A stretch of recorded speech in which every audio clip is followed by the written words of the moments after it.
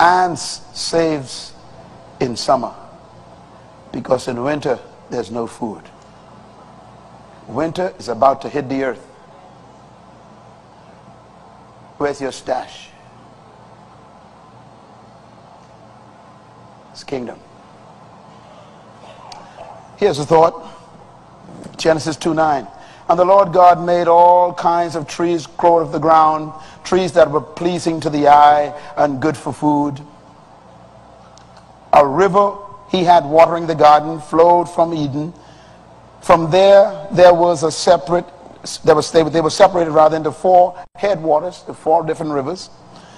Then the, I'm reading the Bible now. He says, the gold of that land is good.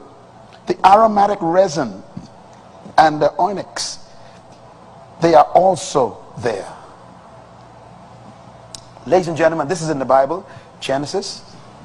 God's talking to Adam. Look at that verse. He's talking to Adam. He says, Adam, uh, first of all, the first thing God showed Adam was water. He said, there's water in the garden.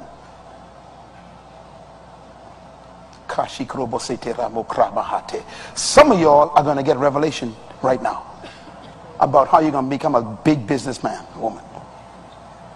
First thing God showed Adam was what? Water. Second, he showed him what? Gold. Third, he showed him what? Resin. Fourth, he showed him what? Onyx. Okay, let's take a look at these four things. It's interesting. You know, there are five foundations of wealth. God told Adam, I give you every fruit for food. Then he says, I give you water. And then he says, I give you gold. And I give you resin. And then I give you onyx. Anyone who deals in these four commodities will be rich on the earth. I was thinking the other day, when they talk about oil prices, they says in the next few years, we'll be choosing between whether to fill our tanks or fill our stomachs. You got to make a choice. Which one would you choose? Which one would you choose? See, it's amazing, eh?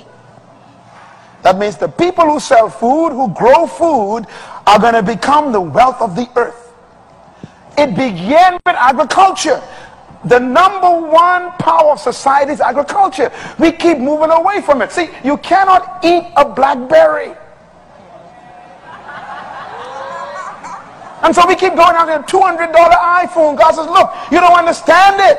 You get your iPhone, but you ain't got no food. You can either have a valley full with vegetables or a Silicon Valley. Which valley do you want?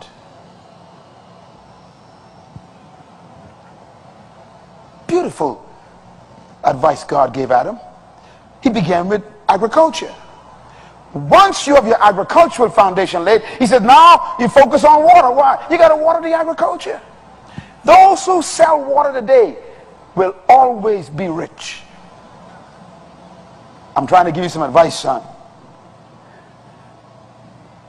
Build yourself an osmosis plant. Reverse osmosis plant. And start bottling water anywhere in the world. You're going to be all right. I guarantee it. Why? God told Adam, there are four rivers. Your body is 87% water. You cannot live without water. So whoever buys water, who sells water, will always be rich. Your body is made of dirt.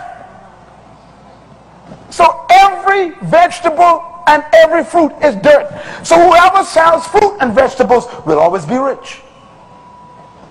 Two things you need to live, water and dirt.